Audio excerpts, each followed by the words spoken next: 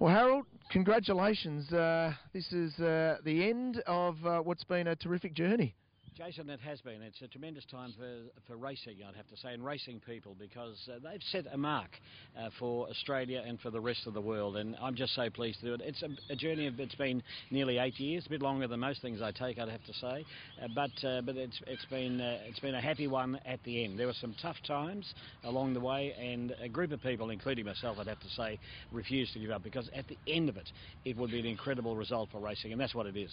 The underlining principle was that the racing industry should control its own media rights, which makes perfect sense in, in light of what uh, the AFL were able to achieve with their media rights all of the all of the uh, sporting authorities and the AFL is the one we look at because it is so successful, so good, so big business uh, is trying to establish a, uh, a, a, television network of their own, and they will. Uh, the next round will undoubtedly be that, and that's where it's all headed.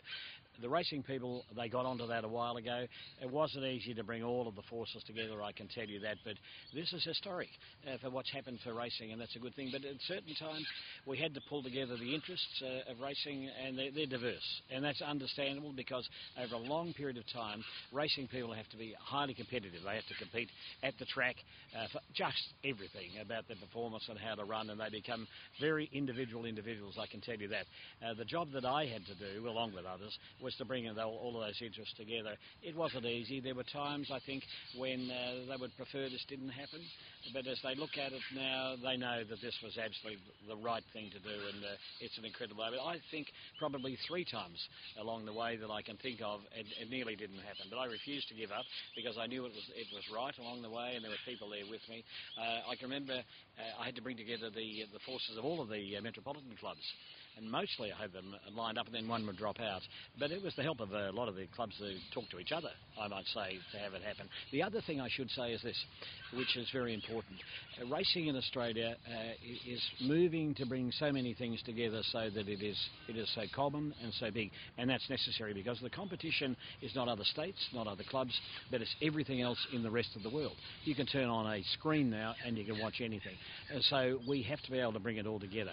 The racing authorities in so many ways, whether it, whether it's wagering, things to do with performance, everything to do with the industry, have to talk on common ground.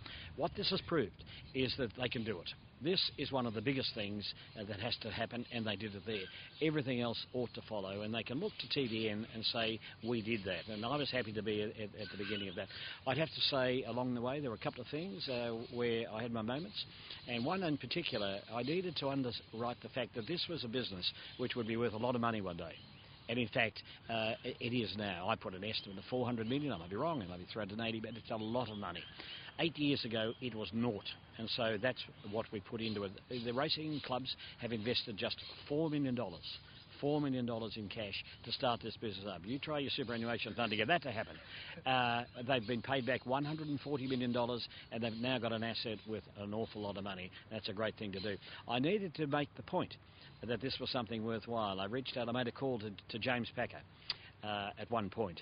And I said, James, this is worth it. Now, you look at the history of it, it was uh, James's father, Kerry Packer, who was so important in behind Sky. He knew it. Knew what this was all about a long time ago, and uh, and and Sky was a great asset because of that. Now it might be that they've missed the boat uh, in what they are, but uh, I, I said to James, uh, I want you to consider buying a quarter of TVN. He said, I'll do it, uh, and it was an offer of 25 million dollars, which suddenly uh, made a value to TVN of $100 million some years ago. And uh, that, everyone looked at that and thought, well, Packer must know what he's doing, and he did, and he knew what it was. I'm yet to make the phone call to him to say that it's now worth that and you could have uh, quadrupled your money.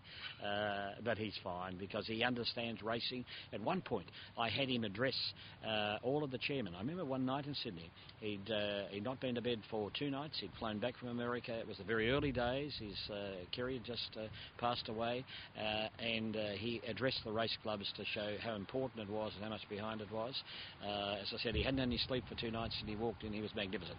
He told the history uh, of his grandfather and racehorses, of the uh, time that they had in every way uh, in, being important behind it all. He even made a commitment.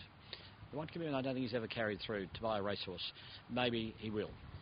Uh, the reaction of, of Sky and also major wagering partner in Tabcorp with this announcement? I think it's going to be a difficult time for them. Uh, they'll be stakeholders, they're important, uh, they have a major role to play, uh, and we support them and everything like that. But the fact is that, uh, that the pictures belong to the, the owners of the pictures, and that's the race clubs and the people that are involved in it. They can't and shouldn't belong to anyone else. I offered them that we could come together. On three occasions, I did that. On two occasions, uh, I thought I was with an inter- I had one agreement uh, with one of the former chief executives to do a deal, and they didn't proceed. I was very disappointed. In all the businesses I deal with, if you give your word on something, it, it happens. And, and, on one occasion, they just walked away from it. I was very disappointed in that, and I think their shareholders uh, should equally be disappointed. They've had their chance. They've had their chance, and we'll work with them in every way that we need to be. They had their chance, uh, but not anymore. I can imagine Victorian and, and New South Wales Racing's now got a perfect platform to launch really strongly into the next frontier in Asia. There's a number of things. Asia is absolutely critical. Asia, as we know, will be 50% of the world's economy. Uh, this is the Asian century. We're right in the centre of it, and it's so important and so big. You make a very good point about the power of what that is. Uh, the new digital world means that we can get the pictures there, we get the pictures back from there, and uh, Australia is becoming a key part of everything like that. We're an incredible economy. We're going back to where we were at the beginning of the 20th century, one of the great economies uh, for our size in the world, and in, in the century that belongs to us, uh, it's an incredible time. It's very exciting across so many things that we can do. Uh, uh, I'll probably leave it at some point, I'd have to say. I've done my bit. I think if you build something up, if you get it right, and you leave it for the next lot to do it, you should let them do it, and, and that I'll do at some point, but not not until I see every signature in every place that knows that this is all there. I've got all the signatures now, I've got it right, and the racing people are feeling absolutely right and appropriate and good about themselves, uh, and at that point then uh, I'll leave it to others. You'll, you'll sit back and uh, look back uh, with, with fondness, no doubt, the journey of these eight years as you hand over the keys in many ways now to the racing industry. Yes, I, will do that. I'll do that happily. There's a couple of other things that I'll use uh, TVN to, to announce and to launch, uh, and uh, it's one around the fact that uh, the public jobs that I do, I've, I've, done, I've been very uh, successful in business separately in the business I know, and the public jobs I do, I think that you should do them, and quite uh, quite often you should do them as in the public spirit of it all.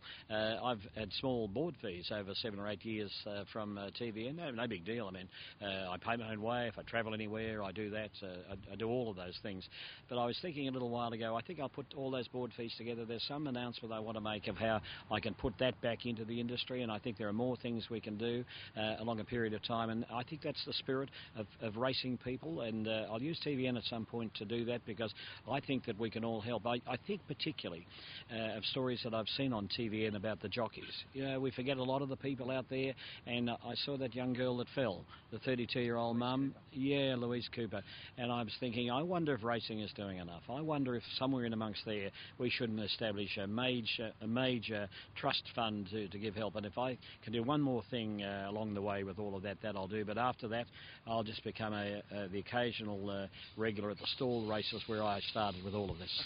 2002 when, when you were involved all the way through now to 2012 where one horse, Black Caviar, is going over to take over the world and the owners of that horse said, you know what, I want TVN to manage our media rights. Is, not that incredible that this uh, this is a, this is Australia all over that started with Phar Lap, uh, uh, where in the in, in, in, right in the depression, uh, where we had to hang on to something, we did that, and right now when we've got signs of, of greatness again, it's back to a thoroughbred horse. And I understand there are is it 4,000 people that are that are travelling to watch the, to watch that, 4,000 people from Australia to go and watch that, and that just shows what thoroughbred uh, industry is all about. It also shows why we need to take care uh, to deal with it so well, that it, it is all of the people at every place, in every nook and canny in Australia uh, that we've done this job for. And I've been delighted and happy to be that journey, but, uh, but after that, it's over to others.